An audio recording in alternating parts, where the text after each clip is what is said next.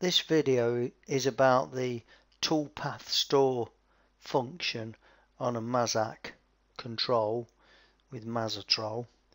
Um, it's the button is TPS, stands for toolpath store, and it's a very very useful function. If you've got this on your machine and you're not using it, well, now's the time to start learning how to use it. I'm going to use this component here as an example of the sort of thing you might be uh, machining when you might need this function. Um, it's particularly useful where the path of the tool, um, if you just took a straight path back into the workpiece, it would actually break the tool. So you would need it to do a sort of dog leg uh, move where it moves the X and then the Z or the Z and then the X.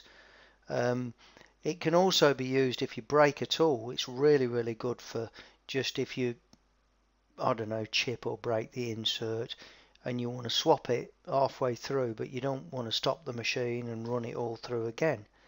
Um, so that's also another use for this.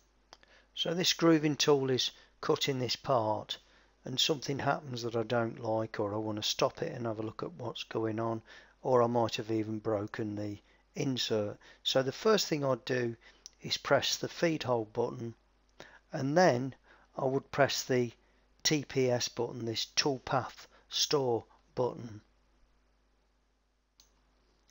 Then I move to my handle jog mode, so my hand wheel mode, and I would wind this tool away in X.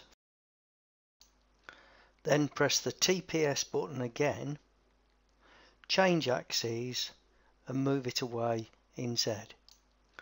Then press the TPS button again, change axes and this time move away in X. Then we just repeat the whole thing again just for this last Z movement. We then put the machine back into the auto mode, this memory mode, press cycle start and the first thing it does is copies these moves back to where it came from and carries on. So that's it in a nutshell. TPS, Tool Path Store. Um, it's a very useful thing to have. Uh, effectively all it's doing is just copying your movements when you take that tool out of the job to avoid breaking the tool.